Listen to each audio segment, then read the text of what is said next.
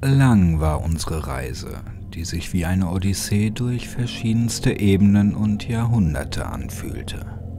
Geprägt von Missgunst, Leid, Schmerzen, Qual, aber auch von Glückseligkeit, Hoffnung und Freude reisten wir sehr weit und übersahen dabei, dass wir zu weit gereist waren.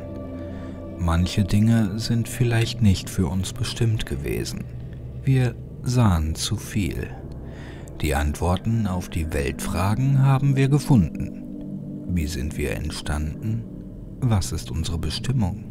Was ist das Universum? Alles haben wir gesehen. Neue Farben, neue Zivilisation, neue Reiche, neue Götter und neue Welten. In andere Dimensionen zu gehen übersteigt die menschliche Vorstellungskraft immens.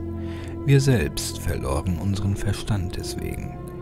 Und während dieser ewigen Reise bekamen wir auch die Antworten, die jedoch nicht für uns gedacht waren. Unserer Neugier fielen wir zum Opfer, wie es den einfachen Menschen ausmacht. Auf der Suche nach Antworten und neuen Gezeiten verloren wir uns allmählich selbst. Wir wussten nicht mal mehr, wer wir sind und woher wir kamen. Diese Fahrlässigkeit, diese Unachtsamkeit, diese Sturheit, diese Dummheit, dies alles führte zu der misslichen Lage, in der ich mich jetzt befinde. Meine Gefährten verlor ich alle vor langer Zeit. Bist du schon mal zu weit gereist? Ich schon. Und jetzt befinde ich mich hier im großen Nichts und schwebe herum, unfähig, mich irgendwie zu bewegen. Mein Anzug ist der einzige Grund, weshalb ich noch lebe. Und ich blicke herab auf meinen Herkunftsort, die Erde. Der Ort, wo ich aufgewachsen bin, der Ort, wo meine Reise begann. Und sie endet hier, wo sie ihren Anfang nahm. Wie ironisch. Ich kann nur mehr vor mich hin philosophieren und hoffen, dass mich irgendjemand rettet.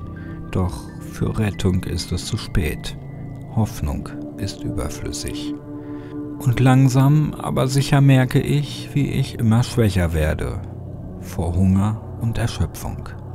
Ich schaue nochmal auf meinen linken Arm, auf dem die US-amerikanische Flagge und die Aufschrift NASA abgebildet ist.